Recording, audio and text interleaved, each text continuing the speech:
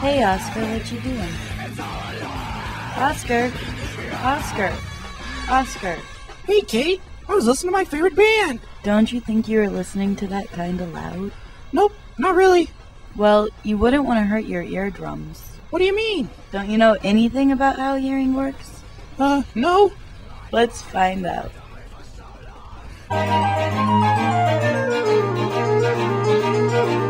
Human ear is comprised of three sections the outer ear, the middle ear, and the inner ear. Hearing begins with sound, which is actually waves of energy traveling through the air.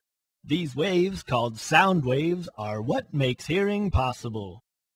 Sound waves enter the outer ear and travel through a thin tube called the ear canal.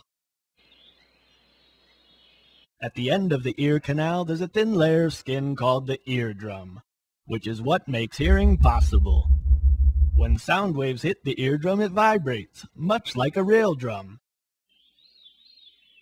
The eardrum is the gateway to the middle ear.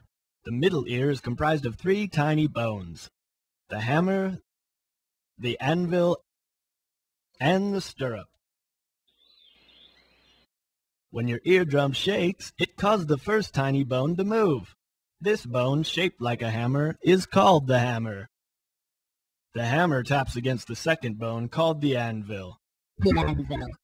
Every time the anvil is struck, it sends these vibrations to the third bone, the stirrup, which is what makes hearing possible. The stirrup is connected by a thin tissue to the inner ear. Your inner ear contains a swirled up tube called the cochlea. Inside this snail shell shaped organ are several nerve endings. When the stirrup rattles the front of your cochlea, it causes the liquid inside your cochlea to vibrate. These vibrations are picked up by nerve endings and turned into electrical impulses. Those impulses race up your auditory nerve and connect to your brain.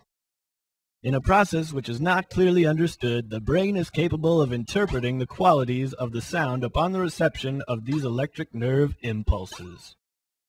That's how you listen to your music, Oscar. All those little bones and organs inside your ear are working all the time. Isn't that amazing?